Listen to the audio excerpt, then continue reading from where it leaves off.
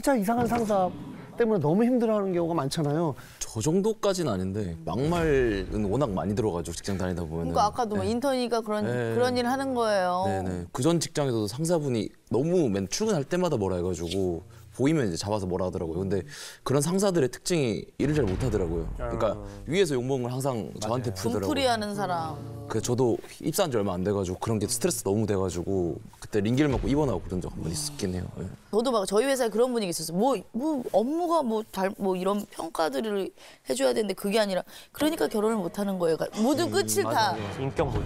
그러니까 결혼을 못 하는 거예요. 뭐 일이랑 무슨 상관이야 결혼이랑. 아니 현희 씨 그때 완전 20대 초반 아니에요? 나이도 그래. 한창 일할 때인데 뭐. 아니 20대 초반이네. 어, 결혼을 그런 왜 얘기를 나- 들었다고요? 그러니까요.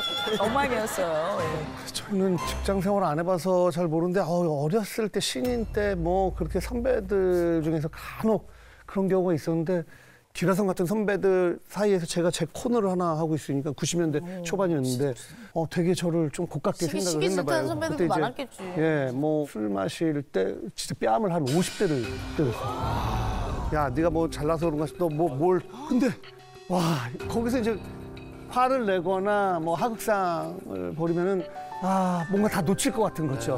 네. 그러니까 그때 이렇게 참고 아 아니, 아닙니다, 아닙니다 하면서 계속 뭐 그랬던 기억이 얼핏 나네요. 예. 어, 대단하시다.